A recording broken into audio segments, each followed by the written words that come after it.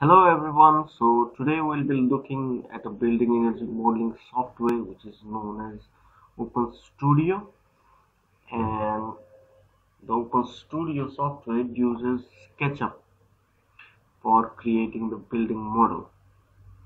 So I will run you through the tools. As you can see in the left hand side these toolbars are the toolbars of SketchUp while the above ones here belong to Open Studio plugin basically. And we can see that the toolbars in Open Studio are divided into certain sections and we shall be learning about their specific task later on in this video. So in this video we shall be learning about creating a geometry via Open Studio plugin which is using SketchUp. So I do not like this character so I shall be deleting it. Here we can see for creating a geometry which means that we are trying to create a building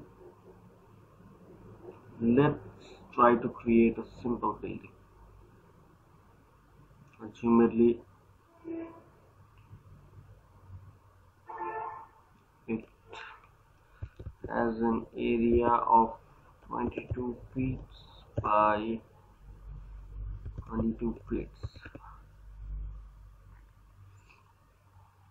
you can see it created a square of 22 feet length.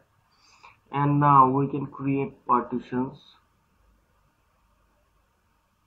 as we require. So these partitions are denoting two rooms. You can create as many partitions as you like. Now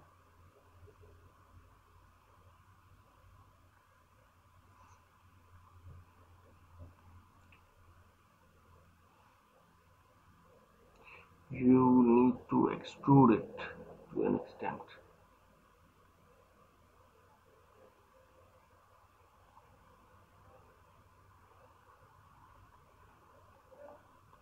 I was basically trying to show you that just using the SketchUp tools are not going to create a model for your building.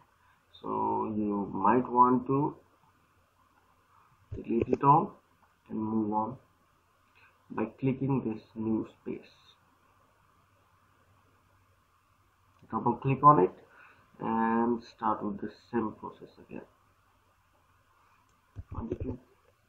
22 feet comma 22 feet so it creates a square again you can create partitions. Now I'll create just one. And now you can extrude it directly using this extrude tool or you can give it the floors by clicking on here. So it basically wants you to input the height of the floor. So I shall input the floor to be 9 feet high and I will want two floors for my building. So it creates two floors each of 9 feet high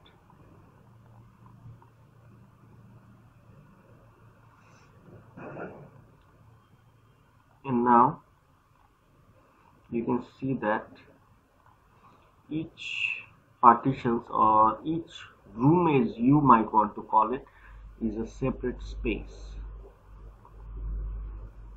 We shall be learning to create components inside the building in the next video. For now I shall save it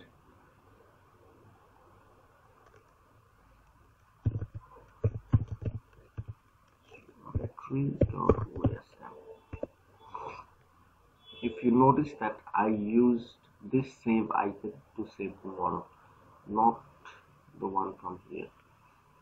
As it saves it in the OSM file.